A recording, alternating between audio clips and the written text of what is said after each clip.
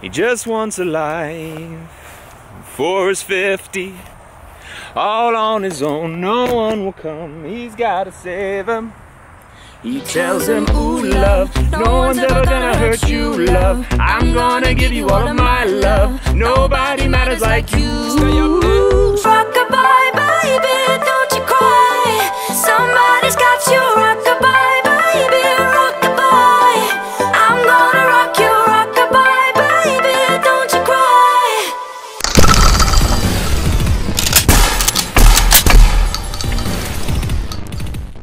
Welcome to Demolition Ranch. Have you ever wondered? Okay, let's just start off. We know that bullets have a lot of power, right? I mean, let's just all agree bullets have a lot of power. But what I've always wondered, and I'm assuming you guys, your inquiring minds, have also always wondered, is how much power, how much energy comes from the muzzle brake of a rifle? The muzzle brake is this. So you'll notice there's holes in it. So a bullet comes down the barrel, and then all this shoots out a bunch of hot gases to keep the muzzle from flying up. So it's shooting out energy to keep the muzzle where you want it. So let's just talk about this gun first because it is my brand new 308 AR-15. This is my first 308 from F1 Firearms and it is so awesome looking. So let's just go over the features really quick. Has a rose gold super smooth bolt carrier group in here and you'll notice that the whole gun is skeletonized. So it has a skeletonized lower here so you can see straight through it. Also has a skeletonized upper both sides. So when that bolt is not there I'll just show you I'll just show you guys. When the bolt is not there you can see straight through the gun. It's to make it lighter it also just makes it cooler. I guess both temperature wise and like awesomeness wise. We also have a fluted barrel. This is an 18 inch barrel. And then they have this crazy muzzle brake, which has a bunch of little holes that all direct gas out in certain ways. This is called their Slayer muzzle brake. And then I have a Vortex Razor Gen 2 1 to 6 topping it off. Really nice scope. And then little skeletonized things that are kind of neat on this gun. So this is a super accurate gun. Today we're not shooting for accuracy. I'm actually gonna do some long range shooting probably in a few weeks in an upcoming Demolition Ranch video. I'm gonna take all my like really precision rifles and take them out and shoot long range because I've done like 400 yards. We need to go further though. But today we're shooting close range and we're really not even caring about the bullets coming out of these guns. I just wanna see the muzzle blast coming out of these guns. So I have a variety of targets that we're gonna put right next to or around the muzzle brakes and fire these guns and see what kind of damage all that energy being released does. Not the bullet, just the gas coming out of here. And uh, we also have a 50 cal, so coming out of here. Let's start small with the 308. That sounds weird, 308s are huge, but compared to a 50, it's small. So let's start with a 308 and see what we can do. I have actually never fired this gun, but it has been fired because this gun, this actual gun, was in Guns and Ammo magazine. They did some testing on it. So it has been fired. It's a brand new gun, but it has been fired before. It's not by me, so fire a couple, make sure it works. Oh. Okay, that's pretty sweet. So, let's see what kind of force comes out the side of this. We have a milk jug full of water, and I'm gonna touch it to the side. Let's do it on this side.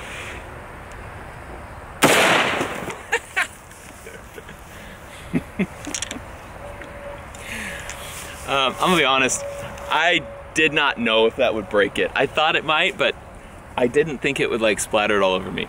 I knew the 50 would do something like that. Okay, test one complete. Now remember, a bullet did not go in this. This was just gas going straight in and exploded our water jug. Let's try something else. So I'm gonna cut a hole straight through this head of lettuce. After seeing that water jug, it's this is definitely gonna get destroyed. But I want to, I don't, just wanna see it. I just wanna see it go everywhere. So I'm just gonna cut a hole straight through the middle so that the bullet will pass through without hitting any of this head of lettuce. Okay, can we all agree that a bullet will not touch that?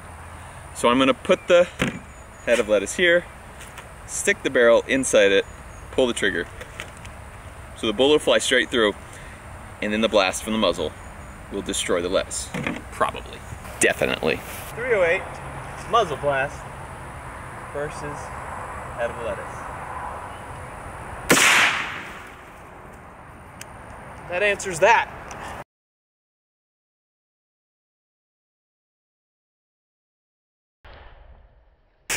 I have lettuce in my mouth.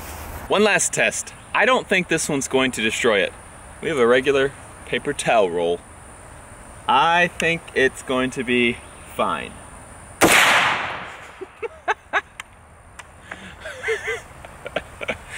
When you're wrong, you're wrong. oh my gosh. So, it totally separated the top from the bottom of that paper towel roll. Golly. Okay, so there's a lot of power coming out of a muzzle brake. Who knew? With this much power out of a 50 BMG, I don't really want to be holding the gun when I pull the trigger and things are exploding, you know, three feet from me. So I hooked it down to the table. It's very secure, and then I would have a long string that I'll be back over here, probably just sitting in my truck, and I will pull it. Just like that.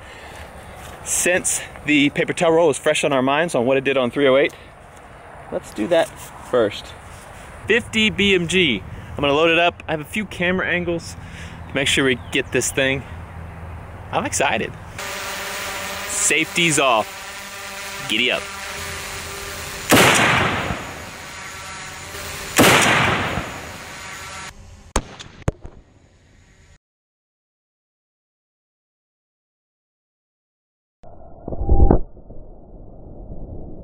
Here's most of the mess from the 308. Here's the mess from the 50 BMG. It did quite a number.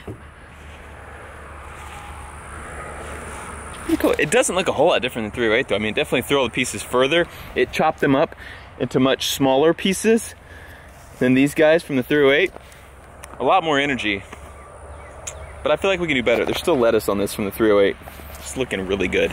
Let us try the lettuce. but for real, look at this. That's gonna blast some lettuce everywhere. Same drill, step back, pull it from a distance, because it's gonna be nasty. Fire in the hole.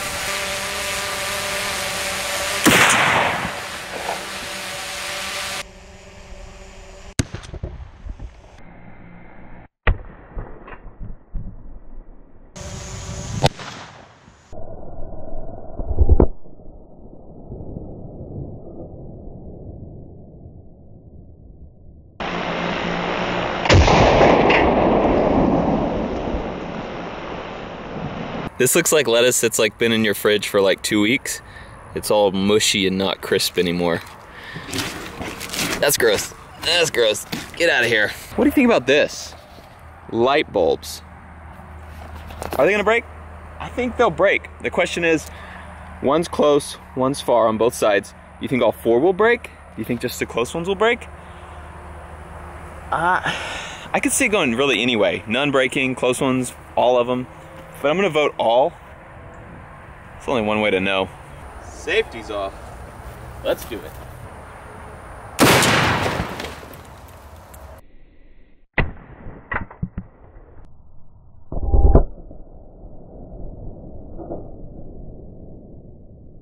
I actually don't know why I keep underestimating it. Like, maybe it's not gonna destroy it because every time it totally destroys whatever I'm shooting at. Like, oh, here, we found one. There you go. I don't know why I thought that the light bulbs would have a chance because they obviously did not. Like, it just disintegrated these things. Well, let's try something else. Some people like new guns, some people like antique guns, some people like new guns that are antiqued. For those who don't know what antiqued means, it's when you throw flour all over someone and they look old.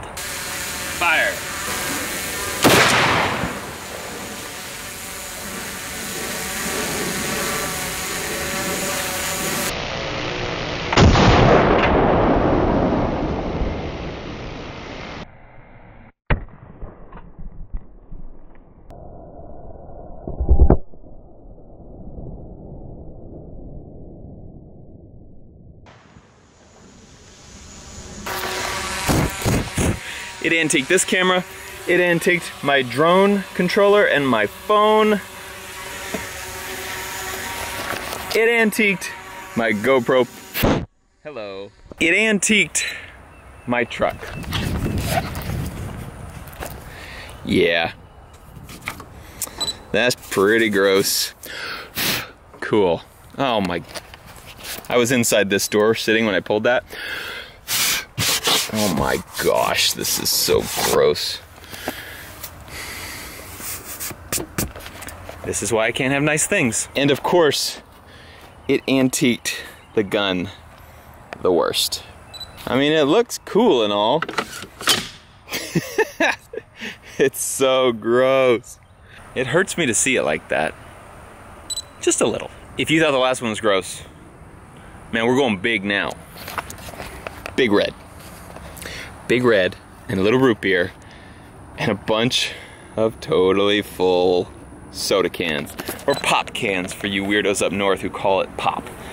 We're gonna shoot a 50 BMG straight through the middle. Out of 22 cans, how many are going to survive? I think the ones on the bottom will survive. I think they're not gonna blast down there very much. I think everything up here will be popped. So I'm going to say 10 cans will survive. Place your bets. Whew, that gun is gonna be so gross. Time to get wet wild.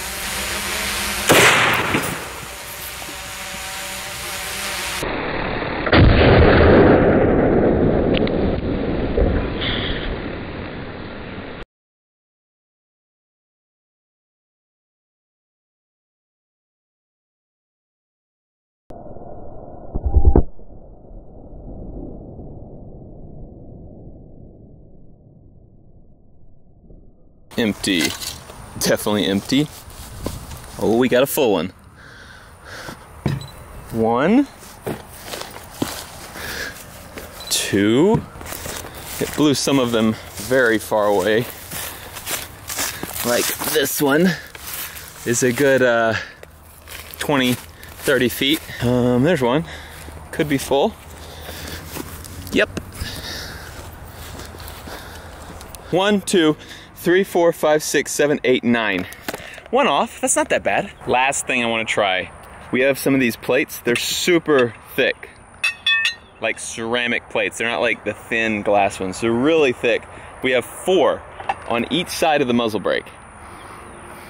How many will it break? How many will the muzzle brake break?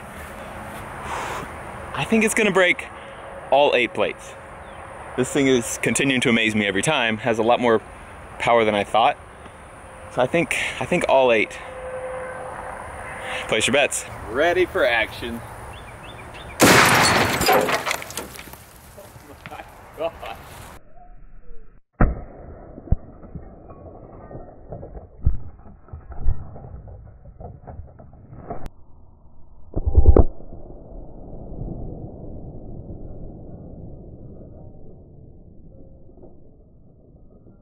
Amazed once again, it liquefied the plates and possibly broke my table. No, I think we're just leaning. It threw pieces of plates everywhere. I mean, those are thick. Like that's that's pretty thick plate. Pretty sure it hit my truck with pieces of plate, so that's great. I mean, look, way over here. There's some. Here's a piece. Here's some more. There's another one over here. There's another one there. We are pretty far away. This is so disgusting.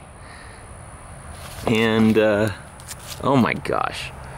That's gross. Can you guys see this?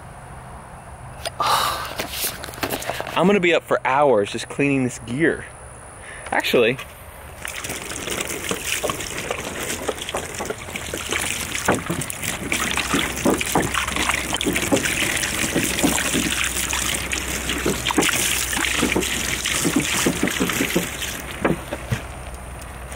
that's not bad. It's probably good enough. I have so many ideas. Like my mind is racing now after doing this because I knew the muzzle blast was gonna be powerful, but I didn't know it was gonna be this powerful. So now I'm like, what else can I do? And then I started thinking, when we shot tanks the other day, the tank has a muzzle brake on the end of that barrel, and the projectile is this big around. and the muzzle blast was crazy. So like instead of putting instead of putting like milk jugs next to the muzzle brake, we could put like a fridge next to the muzzle brake.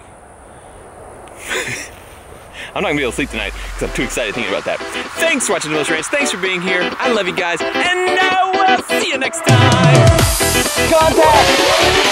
That's a great idea. What about the quad hawk?